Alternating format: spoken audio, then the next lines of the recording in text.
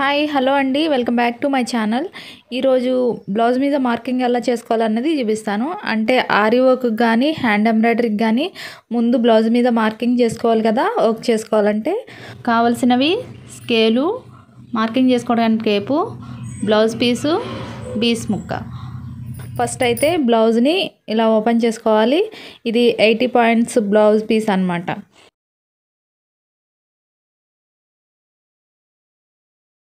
First back పార్ట్ని marking చేసుకోవడానికి ఇలాగా ఓపెన్ చేసుకోవాలి. మొత్తం బ్లౌజ్ పీస్ అంతా. లెంగ్త్ ఎంత వచ్చిందో దాని ప్రకారం పెట్టుకోవాలి. ఇక్కడ ఫోర్టీన్ అండ్ హాఫ్ వచ్చింది. నేను ఫోర్టీన్ అండ్ హాఫ్ కింద ఒక మార్కు పైన ఒక మార్కు పెట్టుకుంటున్నాను. కింద కొంచెం హెచ్చు దగ్గులు ఉంటాయి కదా కొంచెం క్లాత్ వదిలేసుకుని మార్క్ చేసుకోవాలి. నెక్స్ట్ నెక్ ఎంత వరకు షోల్డర్ దగ్గర నుంచి నైన్ అండ్ హాఫ్ దగ్గర పెట్టుకున్నాను. మళ్ళీ కుట్టిన తర్వాత నైన్ ఇంచెస్ దగ్గర వస్తుంది కదా. షోల్డర్ పైనుంచి నెక్ విత్ పెట్టుకోవాలి. రెండు పావు ఇంచుల దగ్గర పెట్టుకున్నాను. మళ్ళీ రెండున్నర ఇంచులకు వచ్చేస్తుంది కుట్టినప్పుడు. ఇటు అటు కూడా మార్క్ చేసుకోవాలి. ఇలా ఒక లైన్ డ్రా చేసుకుని ఇప్పుడు నెక్ దగ్గర రెండున్నర ఇంచులు పెట్టుకోవాలి. అంటే పైన షోల్డర్ దగ్గరికి ఇక్కడికి ఒక పావు ఇంచు పెట్టుకున్నాను అనమాట ఎక్స్ట్రా. ఎందుకంటే రౌండ్ షేప్ బాగా తిరుగుతుంది నెక్ పైనుండి కిందకి ఇలాగా కలిపేసుకోవాలి. చూసారా? పైకి కిందకి కొంచెం డిఫరెన్స్ వచ్చింది. ఒక పావు ఇంచు తేడా అనమాట లేదు ఇలా బ్రాడ్ అయిపోద్ది అనుకుంటే మీరు పైన షోల్డర్ దగ్గర ఎంత అయితే పెట్టుకున్నామో అంత పెట్టుకుంటే సరిపోతుంది. ఇక్కడ షోల్డర్ దగ్గర మధ్యలో నుంచి ఫైవ్ ఇంచెస్ రావాలి. అటు ఇటు కూడా ఫైవ్ ఇంచెస్ దగ్గర మార్క్ చేసుకున్నాను. తర్వాత ఆమోల్ రౌండ్ సిక్స్ ఇంచెస్ దగ్గర మార్క్ చేసుకోవాలి. ఇటు అటు కూడా సిక్స్ ఇంచెస్ దగ్గర మార్క్ చేసుకుంటున్నాను. ఆల్మోస్ట్ బ్యాక్ పార్ట్ అంతా వచ్చేసినట్లే. ఆమోల్ రౌండ్ ఇలా రౌండ్గా గీసేసుకోవడమే అటు ఇటు కూడా.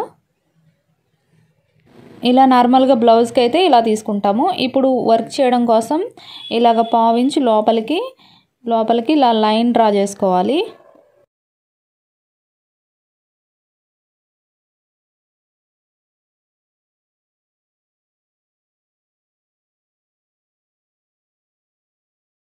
ఇది స్క్వేర్ నెక్ వచ్చింది కదా నేను రౌండ్గా ఇలా మార్క్ చేసుకుంటున్నాను. దానికో లైను దీనికో లైను అటు ఇటు కూడా ఇలా మార్క్ చేసుకోవాలి సమానంగా. పైన షోల్డర్ కింద కూడా ఒక పావించు ఒక లైన్ గీసుకోవాలి. ఇప్పుడు ఆమోల్ రౌండ్లో కూడా ఒక పావించు లోపలికి లైన్స్ గీసుకోవాలి అటు ఇటు కూడా. హెవీ డిజైన్ అయితే ఆ లైన్స్ వదిలేసుకుని లోపల నుంచి వర్క్ చేసుకోవాలి. నెక్స్ట్ సైడ్ కొలత కోసం నడుము కొలత thirty two inches thirty two divided by four equal to eight plus one అనమాట అంటే బ్యాక్ సైడ్ టక్స్ వేసుకుంటాం కదా దానికి వన్ ఇంచ్. కాబట్టి నైన్ ఇంచెస్ దగ్గర మార్క్ చేసుకోవాలి. అంటే దీనికి ఇంకా నేను ఎక్స్ట్రా ఖర్చులు ఏమీ యాడ్ చేయలేదు. తర్వాత బ్లౌజ్ కుట్టేటప్పుడు ఎక్స్ట్రా ఖర్చు తీసుకోవాలి. ఇప్పుడు ఈ మిడిల్లో నుంచి ఇటు సైడ్ కూడా నైన్ ఇంచెస్ దగ్గరికి మార్క్ చేసుకోవాలి. ఇప్పుడు టూ ఇంచెస్ వరకు ఇలా వస్తుంది అనమాట ఊరికే చూపించాను ఇలా వేసి. ఈ నైన్ ఇంచెస్ వరకు మార్క్ చేసుకుని మనం వర్క్ చేసుకోవాలి. ఈ ఖర్చులు వదిలేసుకుని. వన్ ఇంచ్ ఎక్స్ట్రా పెట్టానని చెప్పాను కదా. ఇదిగోండి ఈ షోల్డర్ దగ్గర నుంచి ఈ మిడిల్లోకి ఇక్కడి నుంచి ఇలా టక్స్ వేసుకుంటాం కదా వన్ ఇంచ్ పోతుంది. బ్యాక్ పార్ట్ మార్కింగ్ అయితే అయిపోయింది. నెక్స్ట్ హ్యాండ్స్ మార్కింగ్ చేద్దాము. ఇప్పుడు ఒక హ్యాండ్ అంటే ఇటు సైడు ఒక హ్యాండ్కి మార్క్ చేస్తున్నాను. హ్యాండ్ చివరన ఇలా ఒక లైన్ గీసుకోవాలి. చివరి భాగంలో హెచ్చు తగ్గులు ఉంటాయి కదా అందుకోసం హ్యాండ్ లెంగ్త్ వచ్చేసి six inches down three inches దగ్గర మార్క్ పెట్టుకున్నాను. హ్యాండ్కి ఈ చివరన ఆ చివరన కూడా సేమ్ మార్కింగ్ చేసుకోవాలి. ఎందుకంటే కరెక్ట్గా వస్తుంది. సిక్స్ ఇంచెస్ అంటే డౌన్ త్రీ ఇంచెస్ పెట్టుకోవాలి మెయిన్గా ఈ చివరి నుంచి ఈ చివరికి ఒక లైన్ గీసుకోవాలి. అటు ఇటు. మిడిల్లో లెంగ్త్ దగ్గర ఒక mark.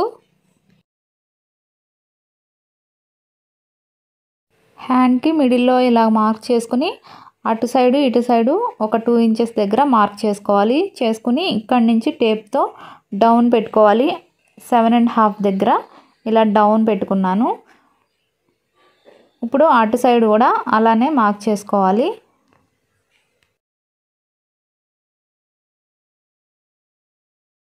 Next hand loose five inches five inches దగ్గర అటు సైడు ఇటు సైడు కూడా పెట్టుకోవాలి సేమ్ మార్క్.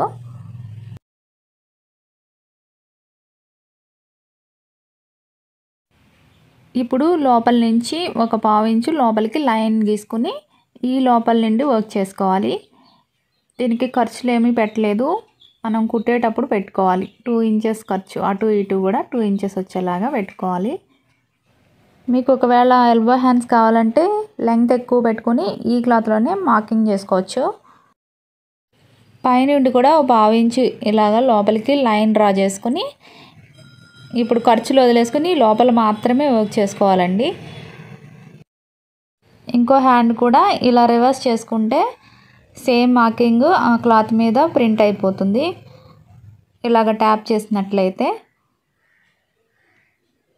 ఇప్పుడు ఓపెన్ చేసి దాని మీద లైన్స్ అన్నీ డ్రా చేసుకుంటే ఈజీగా అయిపోతుంది. ఇక్కడ మొత్తం నేను బీస్తోనే మార్క్ చేశాను. తర్వాత వైట్ పెన్సిల్తో మార్క్ చేసుకోవాలండి. లేదంటే కుట్టే వరకు ఉండవు ఈ మార్కింగ్స్. మళ్ళీ చాక్ పీస్ మాత్రం యూస్ చేయకండి. ఎందుకంటే అవి చాలా లావుగా వచ్చేస్తాయి గీతలు. హ్యాండ్స్ కూడా మార్కింగ్ చేసుకోవడం అయిపోయింది. ఇప్పుడు ఫ్రంట్ పార్ట్ని మార్కింగ్ చేసుకుందాము.